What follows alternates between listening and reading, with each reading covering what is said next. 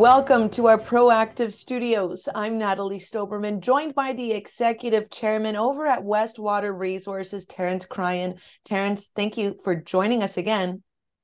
Good morning, Natalie. Great to be here as always. And we have something very interesting to talk about, not necessarily company news, but when it comes to graphite, it almost seems like we need to be able to have a better understanding of what that industry is all about because when it comes to batteries, lithium is the buzzword. So let's talk about what are the recent or the trajectories and trends in the graphite industry right now.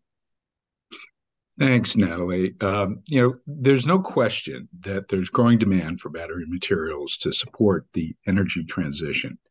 And the US government has recognized, you know, the risks that exist because we're 100% dependent on some of those um, key materials like uh, battery grade graphite.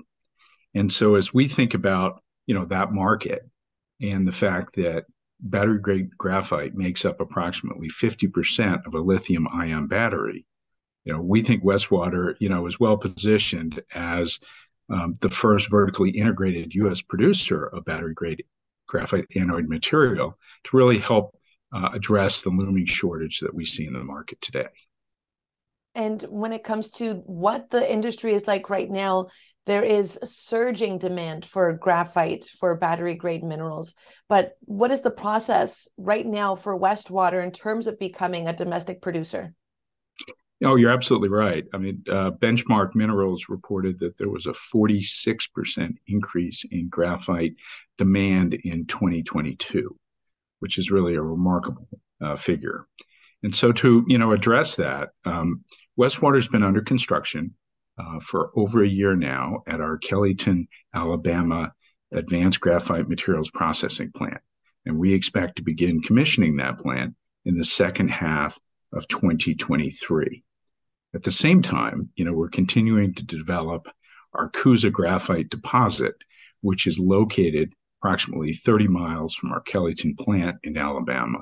And that'll position us to be the first vertically integrated uh, battery grade graphite producer in the US. Right. And when it comes to obviously the growth that we just mentioned, um, and, and, and the construction underway, how does Westwater plan to keep up with the pace of growing demand throughout this process?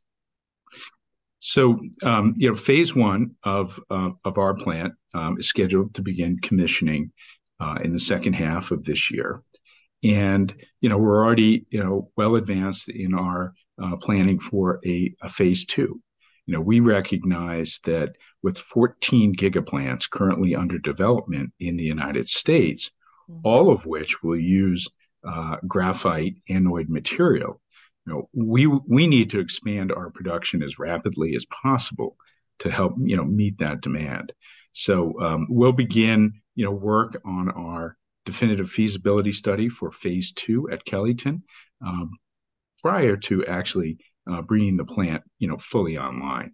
So you can expect, you know, more announcements about uh, expansion plans at Westwater as we go through the year. And we can't wait to hear them. Thank you so much for stopping by, Terence. Great to see you, Natalie. Thank you. Again, the executive chairman at Westwater Resources, Terence Cryan.